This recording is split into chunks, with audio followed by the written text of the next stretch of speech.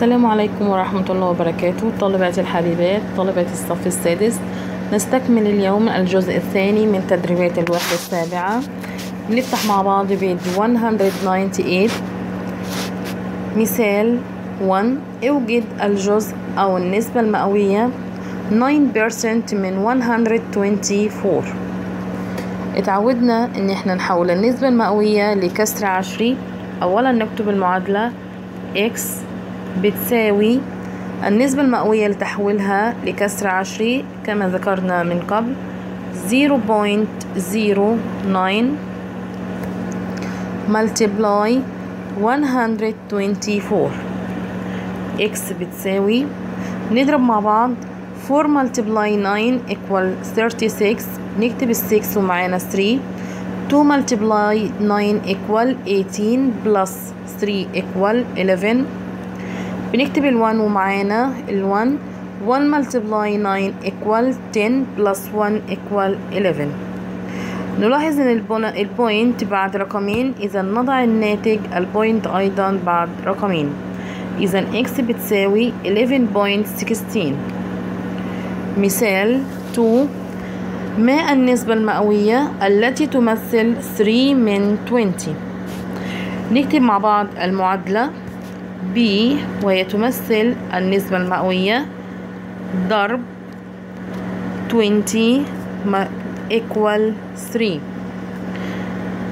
20B equal 3 المعادلة عندي ضرب وبها مجهول اللي هو B. يبقى إذا نحولها إلى قسمة. B بتساوي 3 divide 20 نقسم مع بعض قسمة مطولة. 3 divide 20 طبعا نجد أن 3 أصغر من ال 20 إذا نضع في الناتج 0 بوينت ونضع جنب 3 point أصفار. 30 divide 2 30 divide 20 equal أحسنتم 1 1 multiply 20 20 30 minus 20 equal 10 بنكمل عملية القسمة بننزل ال zero؟ 100 divide 20 equal 5 5 multiply 20 أحسنتم. 100 0 0 إذا B بتساوي 0.15 بس أنا كده محولتهاش لنسبة مئوية. اتفقنا لتحويل أي كسر عشري لنسبة مئوية. بيضرب فيه 100 بنحرك البوينت اتجاه اليمين مرتين. إذا النسبة المئوية بتساوي 15% نيجي مع بعض. اوجد 24% من 35 نحول أيضا النسبة المئوية اللي عندي في صورة كسر عشري. نكتب المعادلة x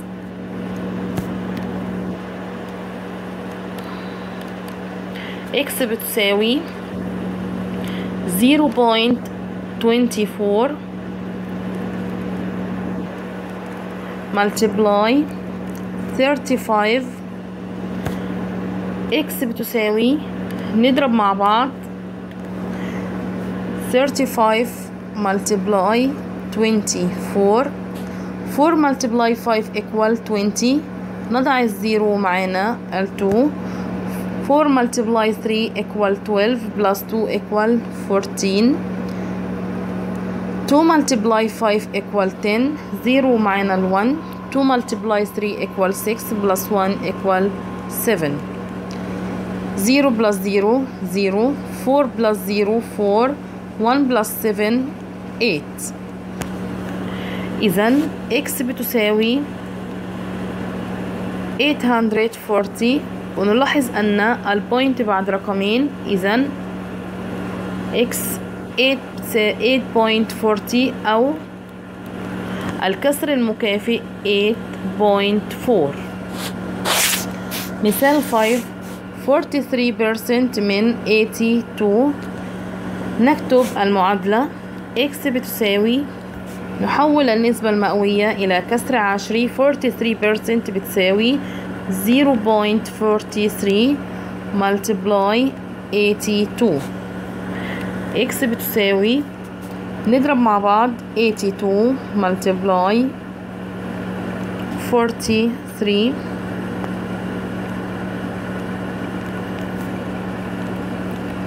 3 multiply 2 equal 6 3 multiply 8 equal 24 4 multiply 2 8 4 multiply 8 equal 32 6 plus 0 6 4 plus 8 equal 12 بنضع ال 2 معانا ال 1 1 plus 2 plus 2 equal 5 و 3 تنزل إذا 3526 ونلاحظ أيضا أن ال point بعد رقمين إذا نضع ال point في الناتج بعد رقمين. إذا x بتساوي 35.28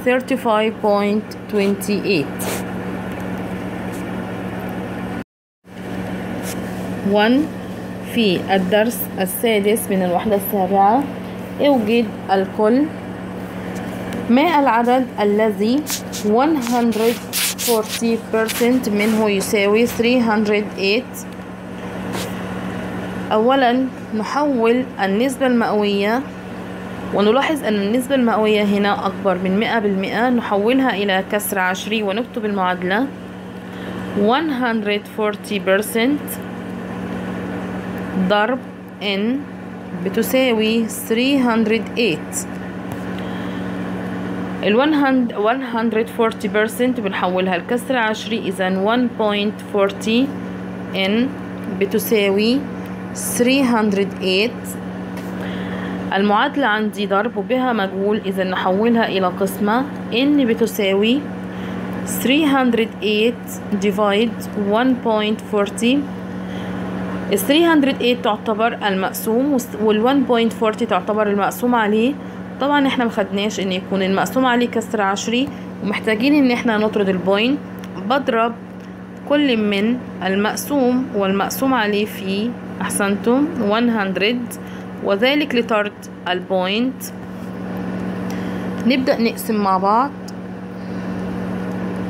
30800 divide 140 140 308 divide 140 بنبحث عن رقم. إذا ضرب في ال 140 يعطيني 308 أو رقم قريب منه. أحسنتم نجد ال 2 2 multiply 0 0 2 multiply 4 8 1 multiply 2 2 8 minus 0 8 0 minus 8 بنستلف من ال 3 تصير 2 وال zero يصير 1 ال zero يصير 10 10 minus 8 2 بنكمل عملية القسمة بننزل ال zero 280 divide 140 أحسنتم. 2 2 multiply 140 280 0 نجد أن في المقسوم يوجد زيرو بنطلعه في الناتج. إذا n بتساوي 220 نيجي مع بعض.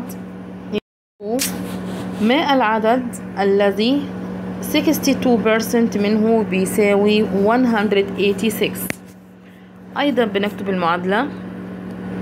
62% ضرب n بيساوي 186 بنحول النسبة المئوية إلى كسر عشري 0.62 n بتساوي 186 المعادلة أيضا ضرب وبها مجهول هو n بنحولها إلى قسمة n بتساوي 186 divide 0.62 أيضا ال 0.62 يعتبر هو المقسوم عليه. محتاجين نطرد البوينت. إذا بضرب في كل من المقسوم والمقسوم عليه في 100 نقسم مع بعض 18600 divide 62 186 divide 62 بنبحث عن رقم يقبل القسمة على 62 ونجد أنه أحسنتم 3 3 multiply 2 equal 6 3 multiply 6 equal 18 0 نجد أن يوجد لدينا في المقسوم صفرين بنطلعهم في الناتج.